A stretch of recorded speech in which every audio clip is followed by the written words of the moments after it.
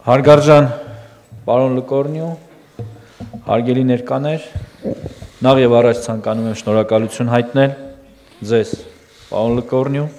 իմ հրավերն ընդունելու եւ Հայաստան այցելելու համար, որպես Հայաստանի Հանրապետության Պաշտպանության նախարար վերջին ժամանակահատվածում 4 անգամ այցելել եմ Փարիզ։ Սակայն մեզ համար մեծ պատիվ է պատմության ընթացքում առաջին անգամ Հայաստանում հյուրընկալել բարեկամ Ֆրանսիայի զինված ուժերի նախարարին հայ եւ ֆրանսիացի ժողովուրդների ընդհանուր արժեքների վրա հիմնված միջպետական հարաբերությունների շրջանակները մեր պետությունների ղեկավարների վարչապետ Նիկոլ Փաշինյանի, նախագահ Էմանուել Մակրոնի առաջնահերթ ուշադրության ներքո օրստորեն լայնվում են, որոնցում իր կարևոր դերակատարումն ունի պաշտպանության ոլորտի համագործակցությունը։ Ֆրանսիայի զինված ուժերի նախարարի այդ ցնակները վկայություն է այն բանի, որ թեև Հայաստանի եւ Ֆրանսիայի միջև ռազմական համագործակցության գործնական փուլը 2 տարին չի բոլորել, մեր համատեղ ջանքերի շնորհիվ այն արդեն իսկ համակարգային եւ հերահար բնույթ ունի։ Օգտվելով առիթից ցանկանում եմ շնորհակալություն հայտնել մեր ֆրանսիացի գործընկերներին եւ անձամբ պարոն Լկորնյուին համագործակցության զարգացման գործում ցուցաբերվող պատրաստակամության եւ անձնական ներդրման համար։ Ընդամենը րոպեներ առաջ ավարտեցինք մեր քննարկումները, որոնք ինչպես միշտ անցան բովանդակային եւ գործնական մթնոլորտում։ Մեր համագործակցության օրակարգն ընդգրկում է զինված ուժերի կենսագործունեության գրեթե բոլոր ոլորտները, հատկապես պետք է ընդգծեմ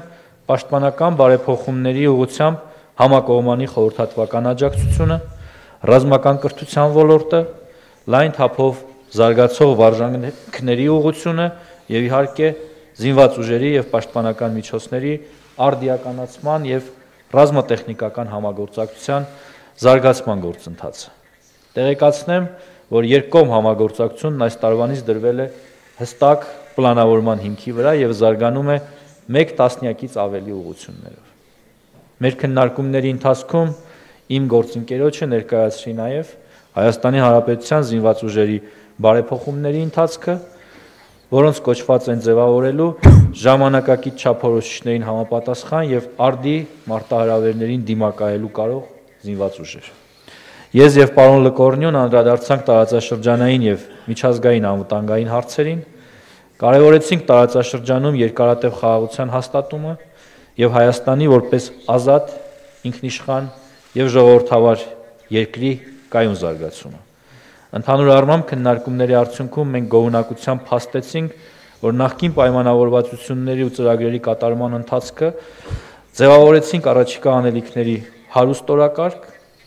Տեղեկացնեմ նաև, որ քիչ առաջ ստորագրված փաստաթղթերը նոր հիմք են դնելու այդ օրակարգի զարգացման համար։